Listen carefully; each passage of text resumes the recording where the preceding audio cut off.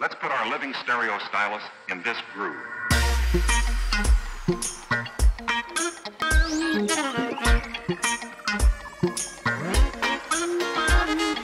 Condiplan, c'est une société coopérative euh, de sept agriculteurs, euh, donc euh, sept coopérateurs.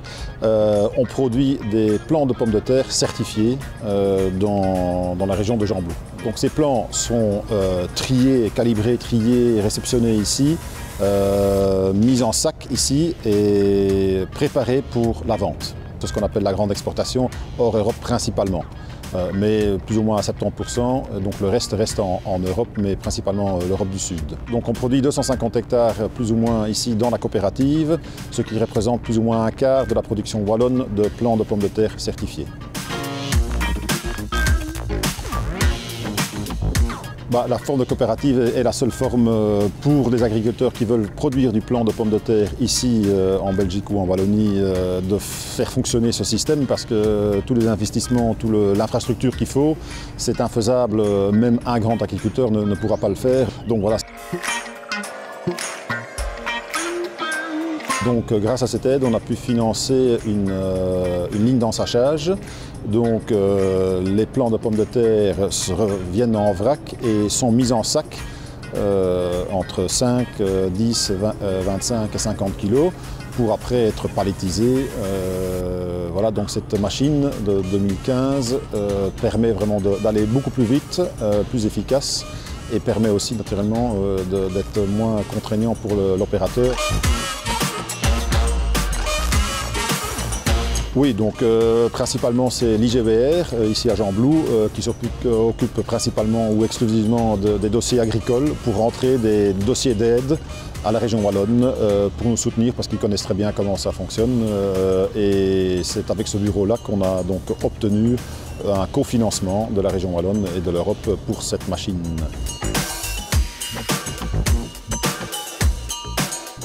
On a eu quelques difficultés et quelques craintes début euh, au mois de mars euh, par rapport au stock qu'on avait encore qui était euh, prévu pour être euh, envoyé et lui faire le, forcing pour que ça parte plus vite que prévu.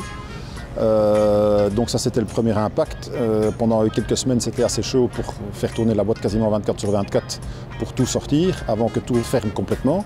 Euh, mais ça bon, in fine ça a été. Euh, maintenant le, grand impact c'est le prix. Euh, le prix de la pomme de terre de consommation qui a naturellement un impact sur la pomme de terre de plant. Euh, mais là, c'est hors de notre, euh, je veux dire, hors de nos mains pour, vraiment y, faire quelque chose. Bah, il y a certainement un avenir pour la coopérative. Voilà, le Covid ne va pas arrêter ça. Je pense que, et certainement pour le plan de pommes de terre, ça a certainement un avenir aussi dans le futur.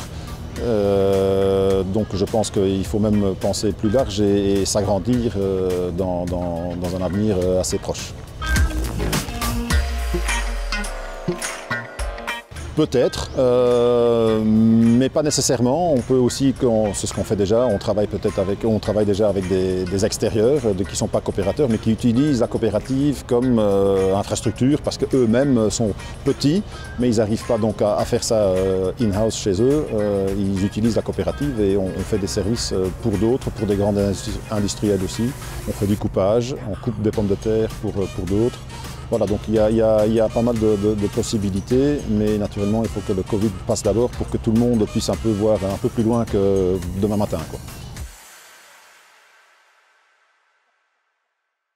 Alors la FIWAP fournit un, encadrement technique, économique, statistique aux professionnels de la pomme de terre euh, en, Wallonie, c'est-à-dire sur les techniques de production, les principaux euh, chiffres euh, statistiques et, le suivi des marchés. Euh, nous avons également un, rôle interprofessionnel, donc faire parler les différents maillons de la filière entre eux. Et nous avons aussi un, un rôle de représentation auprès des pouvoirs publics.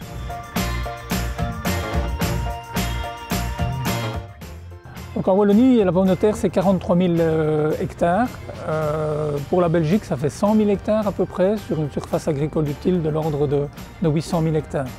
En termes euh, économiques pour l'agriculture, elle pèse de plus en plus lourd ces dernières années parce qu'il y a eu le, recul de la betterave, euh, les mauvais prix de la céréale pendant toute une série d'années. Mais la de terre, c'est aussi une série de fournisseurs d'intrants, donc en amont, en, machinisme, en engrais, en, phyto aussi euh, évidemment.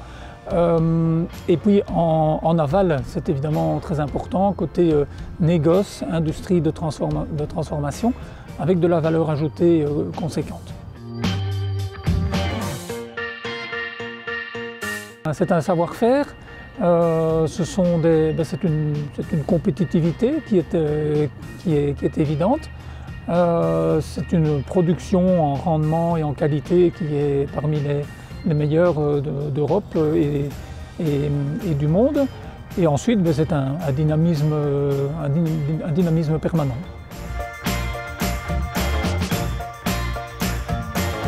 Cette crise au mois de mars est intervenue à un moment où nous avions les pommes de terre comme elles avaient été produites en, 2019. Donc de fait, des marchés se sont fermés, ont disparu, n'ont pas été rattrapés euh, jusqu'à la fin de la valorisation en, juin-juillet.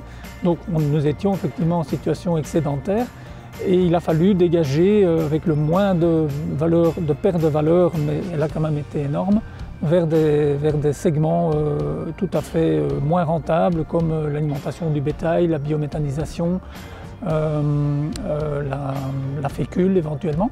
évidemment, à la période où la crise est arrivée, nous avions aussi déjà tout prévu pour produire en 2020 en termes de surface, d'engrais, de, de, plants, de phyto, de machines. Donc il n'a pas été possible pour la filière de diminuer considérablement les superficies 2020. Donc c'est une filière qui reste euh, à la merci de telles, de telles crises. Alors on, va rester euh, résolument dans un contexte de croissance parce que la, consommation mondiale de produits à base de pommes de terre va, continuer à croître. C'est lié au développement de la restauration rapide à travers le monde, euh, le développement du tourisme, la progression du, pouvoir d'achat dans, différentes parties du monde. Euh, et comme la Belgique est, le premier exportateur mondial de produits à base de pommes de terre, elle va continuer à jouer un rôle important. Néanmoins, cela devra se faire euh, dans le respect de, règles agronomiques, de, conditions de durabilité environnementale, euh, sociétale et surtout économique. je pense qu'il faudra aussi de plus en plus de, liens interprofessionnels, de dialogue entre les maillons de la filière, de transparence dans l'information pour euh, affronter les défis qui nous attendent.